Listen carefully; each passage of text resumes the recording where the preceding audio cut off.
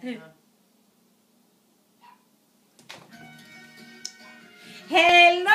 Marcella. We heard it's your birthday tomorrow. Oh, actually, today. Yes. Well, I'll tell you what. Tomorrow, you come over here. I got the margaritas mixed for you.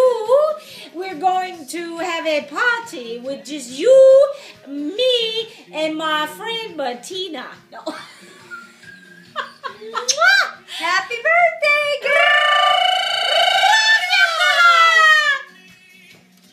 my god,